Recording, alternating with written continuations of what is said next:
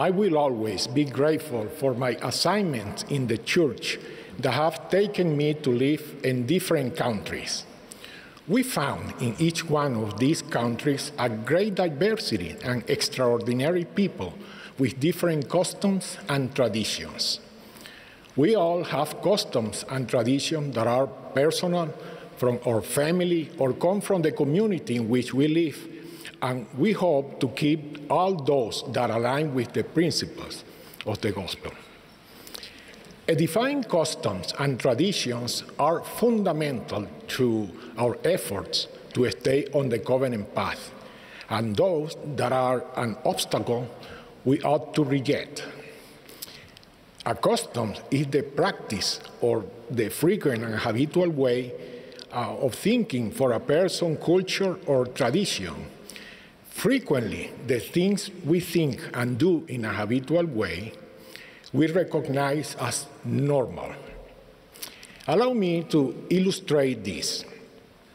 Patricia, my beloved wife, loved to drink coconut water and then to eat the coconut. During our first visit to Puebla, Mexico, we went to a place uh, where we bought a coconut. After drinking the water, my wife asked them to cut the coconut and bring her the flesh to eat. When it came, it was reddish. They had sprinkled it with chili sweet coconut with chili.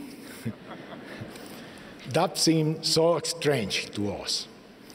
But later we learned that the strange ones were my wife and I, who did not eat coconut with chili. In Mexico, however, it is not rare, it's very normal. On another occasion, we were eating in Brazil with some friends, and they served us avocado uh, just as we were about to sprinkle salt on it, our friend said to us, What are you doing? We already put sugar on the avocado. avocado with sugar. that seems so odd to us. But then we learned that the odd ones were my wife and I, who did not eat avocado with sugar. But in Brazil, avocado sprinkled with sugar is normal. What is normal for some may be odd for others, depending on their customs and traditions. Which customs and traditions are normal in our lives? President Nelson has said, Today, we often hear about a new normal if you really want to embrace a new normal, I invite you to turn your heart, mind, and soul increasingly to our Heavenly Father and His Son, Jesus Christ. Let that be your new normal. This invitation is for all. It does not matter whether we are poor or rich, educated or uneducated, old or young, sick or healthy he invites us to let the normal things in our lives be those which keep us on the covenant path. No country uh, contains the totality of what is good or admirable. Therefore, as Paul taught, if there is anything virtuous, lovely, or of good report or praiseworthy, we seek after these things. If there be any praise, think on these things. Note that this is an exhortation, not merely a commentary. I would like all of us to take a moment to meditate on our customs and the way they are influencing our, our families. Among the marvelous uh, habits that should be normal for members of the church are these four. First, personal and family study of the scriptures. To become converted to the Lord Jesus Christ, each person is responsible for learning the gospel. Parents are responsible for teaching the gospel to their children. Second, personal and family prayer. The Savior commands us to pray always. Prayer allows us to communicate personally with our Heavenly Father in the name of His Son, Jesus Christ. Third, attend sacrament meeting weekly. We do so to remember Jesus Christ as we take the sacrament.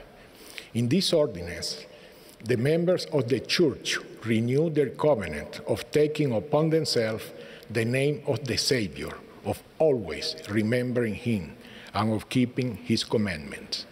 And fourth, participate frequently in temple work and in doing family history.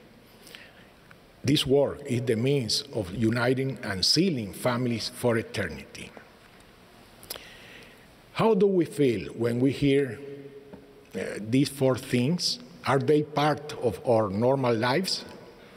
There are many other traditions that could be part of the normality we have adopted, thus letting God prevail in our lives. How can we determine what will be the normal things in our lives and in our family? In the scriptures, we find a great model. In Mosiah 5:15 it says, I would that ye should be steadfast and immovable, always abounding in good words. I love this word because we know that the things that become normal in our lives are those that, that we repeat again and again. If we are steadfast and immovable in doing good, our customs will be in accordance with the principle of the gospel and they will help us to stay on the covenant path. President Nelson has also counseled embrace your new normal by repenting daily. Seek to be increasingly pure in thought, word, and deed. Minister to others. Keep an eternal perspective. Magnify your callings. And wherever your challenges, my dear brothers and sisters, live each day so that you are more prepared to meet your Maker. Now, it is not all for either my wife Patricia or for me to eat coconut with chili and avocado with sugar. In fact, we like it. However, exaltation is something much more transcendental than a sense of taste. It is a topic related to eternity. I pray that our normality may allow us to experience that state of never ending happiness that is promised to those who keep the commandments of God.